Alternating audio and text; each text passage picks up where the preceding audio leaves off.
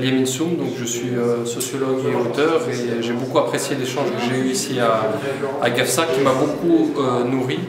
Et donc avec les équipes du Tunisie Bondi Blog et en tout cas je suis repart avec beaucoup d'optimisme et, plein de projets en tête ici à GAFSA. Donc bah, j'interviens régulièrement en tant que conférencier en France et c'est la première en, Tunisie.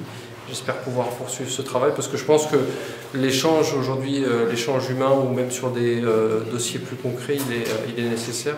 Et donc je suis heureux que ça, puisse se faire ici avec le, le Tunisie Bondi Blog et si c'est possible de faire en sorte qu'aujourd'hui il y ait de plus en plus d'intervenants pour partager un, certain nombre de points de vue, ben, j'espère que ça que, ça va, que ce travail va être euh, poursuivi.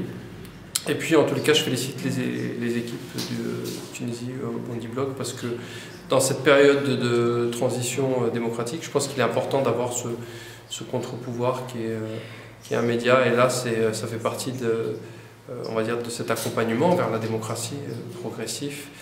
Et, et, puis dans la pluralité, puisque le fait qu'il y ait le Tunisie Modi Blog, mais pas seulement. ça donne en tout cas beaucoup d'espoir sur l'avenir euh, à la fois du sud de la Tunisie et de l'ensemble du pays.